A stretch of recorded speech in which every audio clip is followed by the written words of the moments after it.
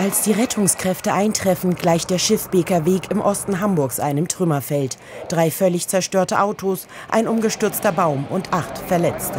Wir sind alle hingerannt und äh, so viel wie möglich äh, zu helfen. Unter den Opfern zwei Zwillingsbrüder, erst zwei Jahre alt.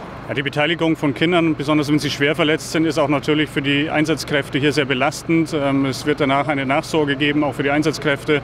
Es wurde hier parallel eine Notfallseelsorge auch für die Angehörigen alarmiert, ähm, die sich dann im weiteren Verlauf aber auch noch um die Einsatzkräfte kümmern wird.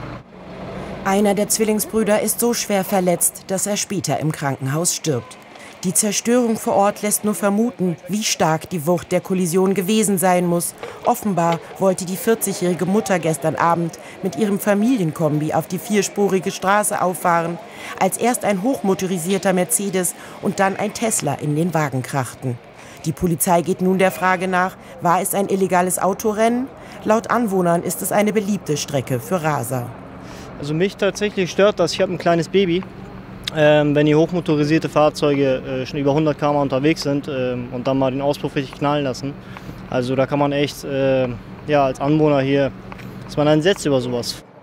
Erst vor knapp zwei Wochen war wenige hundert Meter weiter auch ein Tesla mit hoher Geschwindigkeit in einen Opel gekracht und hatte die drei Insassen teils schwer verletzt.